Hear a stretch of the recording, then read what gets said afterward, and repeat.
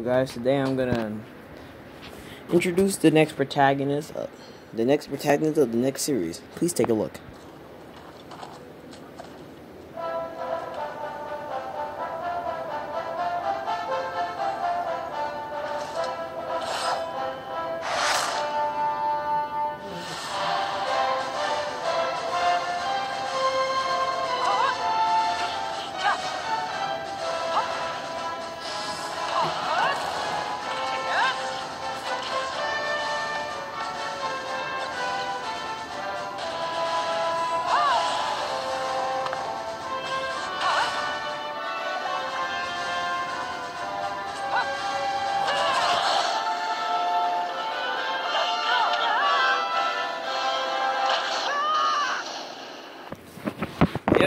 is the Luminary, everyone.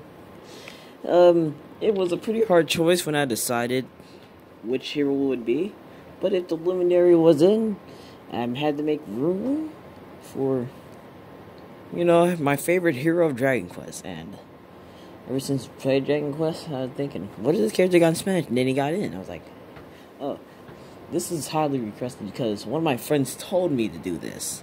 He said, you should probably make a season where all the DLC fighters and uh, I realized I didn't have all the DLCs, so I asked my dad to buy some, and then he bought them, not in one day or anything. And then I actually had them. Then now I'm preparing even more characters that you haven't seen the first one. Thanks for watching, and I'll be uploading a video this Sunday. Smash Bros. Awakening Part 97. Three more to go. Bye bye.